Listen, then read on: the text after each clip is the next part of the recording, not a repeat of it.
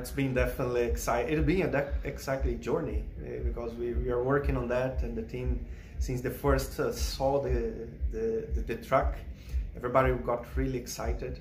And we've seen even the, the, the technician side, the people in the workshops wanting to learn because they know in a time it's going to come to them and they want to develop themselves.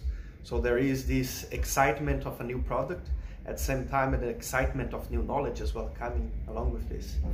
How, how much uh, customer interest have you had with this uh, truck so far? Yeah, well, it was not yet revealed, so it's not many customers that know about, but we have started discussion with some key customers because uh, as part of our journey, we, are always talking about efficiency, less fuel consumption, which comes with reduction of uh, CO2. And we always put across to customers or what would be their interest in getting electric vehicle in their fleet. And we start seeing a couple of customers which are interested on the sustainability side as, as, as a first trigger, that they want to enjoy, they want to start that journey and, and they have commitments as a company and, and that they need to do their contribution towards that. And some of those customers, they are being always being required by their customers, their final customers, that they should have sustainability actions in their operation.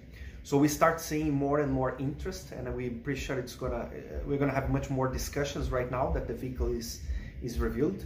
But there is this push towards sustainability. I think that would be a really key point uh, on the on the beginning of this journey.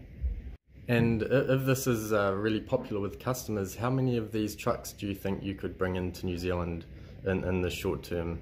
Yeah, we, we were going to start now that uh, it's announced and it's shown to the market, the vehicle. We have a couple of inquiries that, as I mentioned, we need to look at the, and design the right application, understanding the work that the vehicle is going to do, what is the range, what is the areas, so that will help us out to define the right vehicles to be brought to the market. So we have no limitations on bringing vehicles. So it has to be brought on uh, for, for, the right customers and the right applications at this stage.